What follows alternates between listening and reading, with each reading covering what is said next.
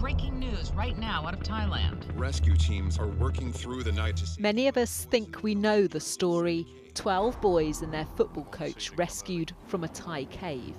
But this documentary reveals unseen footage of how it was done.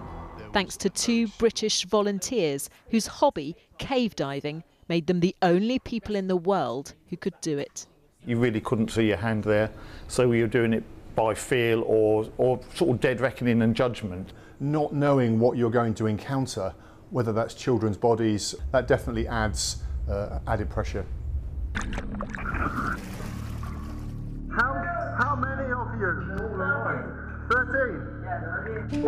After nine days, they finally found the boys alive. Believe.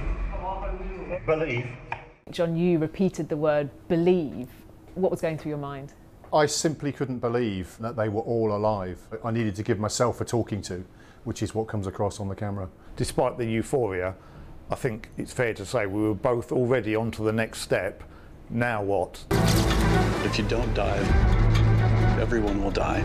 The only highly dangerous option was to sedate the children, inject them with ketamine, and carry each one underwater, unconscious, for two and a half hours. That responsibility of, of taking a child where if anything had happened to the mask that was keeping their face dry, if it had been knocked in any way, then the, the child would unquestionably have drowned. And I, I certainly felt the weight of that uh, very, very much. You took that first child who was unconscious in your arms. This is a, a, a living human being, and you are responsible for them in these awful conditions for two and a half hours.